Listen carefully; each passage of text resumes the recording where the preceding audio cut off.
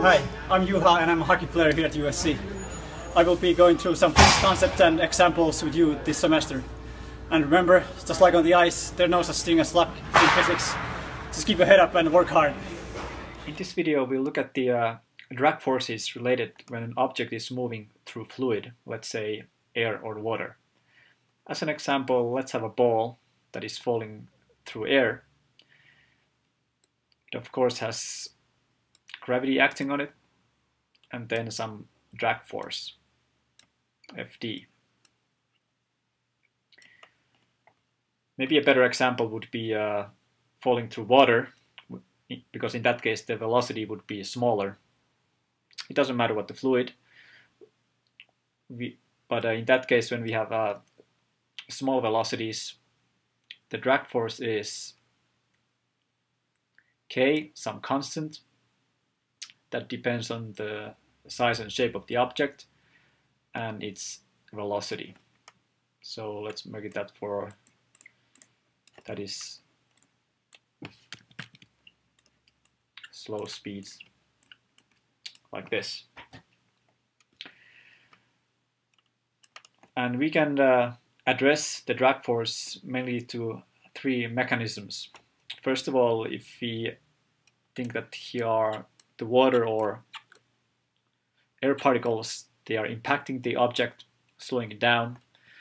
And also when they flow past it, there will be some friction between the two media. And of course, when the uh, air gets past, it doesn't flow past, it uh, forms some kind of vortices behind it. And this usually creates uh, lower pressure, which tends to uh, pull the object back. But all of these uh, effects are combined in this uh, uh, constant k that is experimentally determined.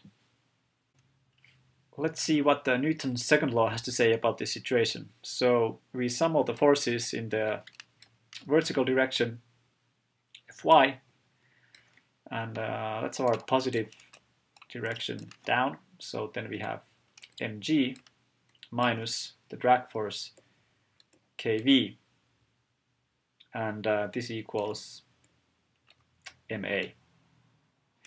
First let's consider the case that the uh, kV exactly equals mv. And this is of course possible because when the velocity picks up, the drag force increases and at some point they match which means that uh, the object is in uh, equilibrium, the net force is zero. So it will be moving at constant speed at that time. And that speed, if we solve from here, is called the terminal velocity. The object can't go any faster.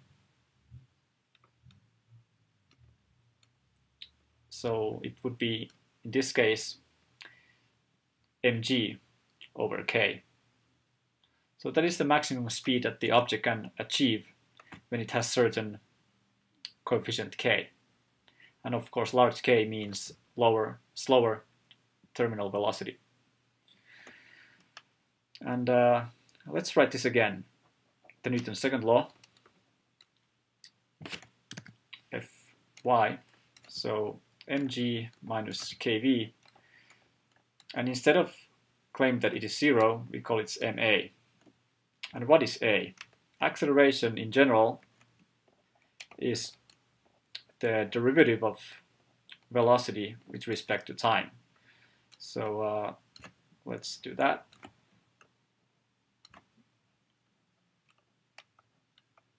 dt.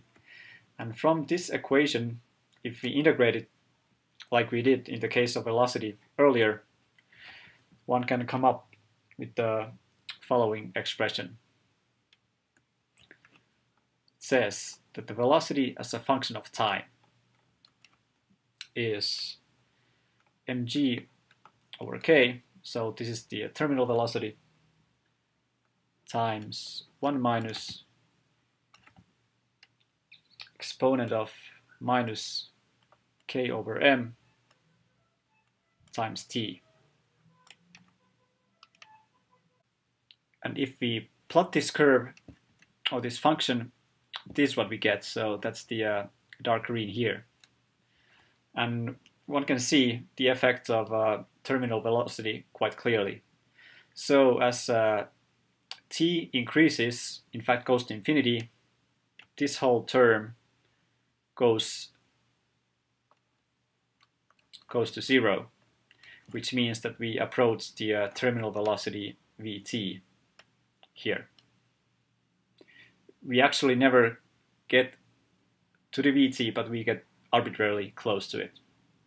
And this uh, behavior of velocity is in stark contrast with the uh, assumption when there is uh, no drag. So in that case, the vt is the usual or the familiar accelerations, acceleration times t.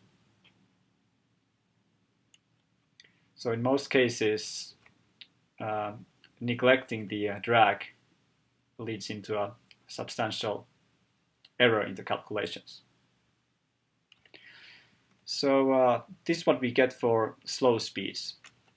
And uh, usually when balls are falling through the air or car is driving on the road, uh, this model just isn't sufficient. And it's better in that case modeled by the drag force being Fd equals d, another constant, times v squared. So uh, let's call this the fast speed model. Of course, you can ask yourself uh, what happens if the speed is somewhere in between. Uh, I'm sure there's uh, another model or several models for that, but uh, we just uh, stick to this strict separation between slow and fast cases. Now if we uh, apply the Newton's second law in this case, so mg and then we have the minus drag force g or v squared and we are just looking for the terminal velocity. So we look at the situation when gravity and the drag equal.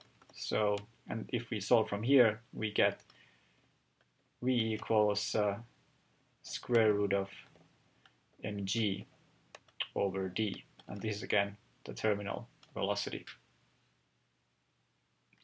and uh, one such example when